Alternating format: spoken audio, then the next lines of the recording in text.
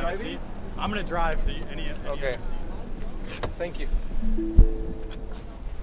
all the action's gonna take place on that iPad. If you want to. Oh, okay.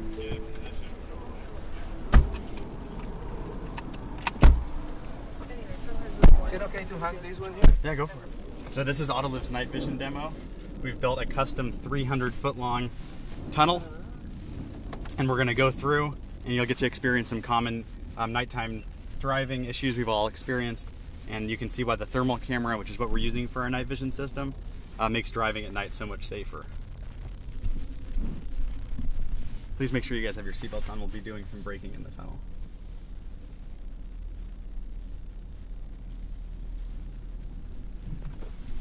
So we've all had this experience, I'm sure. You come to a car, can you guys see anything past the glare? Probably not. But if we turn our night vision screen on, you actually see that box there is a pedestrian who's right next to the car. You would never be Oh. able to see him in a million years with your eyes, but the thermal camera, the night vision system, um, lets you th- see things that you otherwise couldn't, and then you can stop much further back because you still can't see them. You know, maybe now, but they're you know 10 feet in front of the car, so you get all that added safety to, safety distance to slow down. And so now we come in. It's still dark, but it's now foggy, so I can turn on my high beams. It makes visibility even worse. You can't see anything out of the windshield. But if I turn the night vision screen back on, you see there's actually a deer about 200 feet in front of our car. You wouldn't have that information at all um, because you can't see anything with your eyes, but the thermal camera sees the deer's heat signature. So now we're just gonna accelerate to the deer and just see how the car reacts to it. So we're gonna get an audible alert right there. I'm just gonna ignore the alert. And the car's gonna brake automatically. He's st-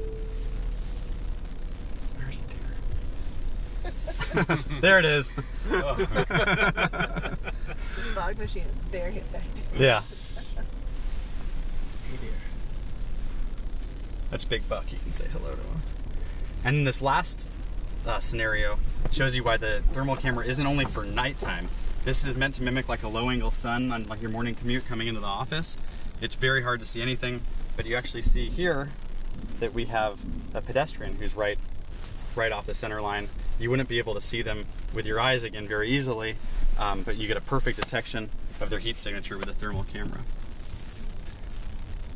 And so that's basically the key takeaway for the night vision portion of the demo. Um, it, the thermal camera allows you to see things that you couldn't see with your eyes, and so it makes the road safer for everyone.